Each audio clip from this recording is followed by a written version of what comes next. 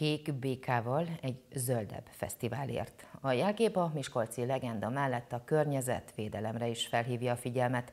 A Kocsonya Fesztivál 5000 békája újrahasznosított anyagból készül. A Kocsonya Fesztiválon idén minden eddiginél nagyobb hangsúlyt kap a szórakozás mellett a klímavédelem. Csak nem 50 partnerrel nyitja meg kapuit a Zöld Sátor a Kocsonya Fesztiválon, ahol többek között ökológiai lábnyomszámítás és tanácsok várják majd a fesztiválozókat.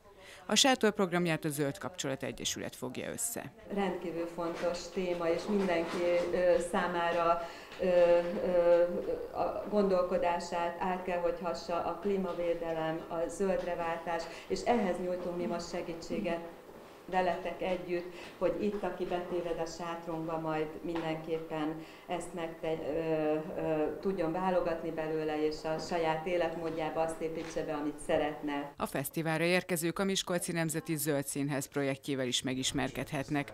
Papendre színművész, a projekt ötletgazdája az elmúlt fél év tapasztalatait és fejlesztéseit mutatja majd be. Színe java ez a mostani Kocsonya Fesztivál, a környezetvédelem jegyében, és a környezetet nagyon széles értelemben.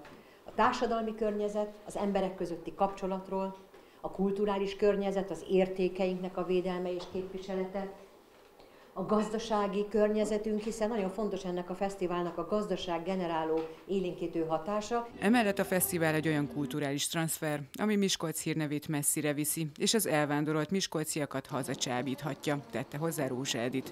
Péntektől három színpadon lesznek koncertek, és visszatér a béka is a sétáló utcára. Ilyen kék, farmerborúra hasznosított békákat lehet majd nyerni a színva teraszon. A fesztiválon 5000 kis kék leveli talál majd gazdára.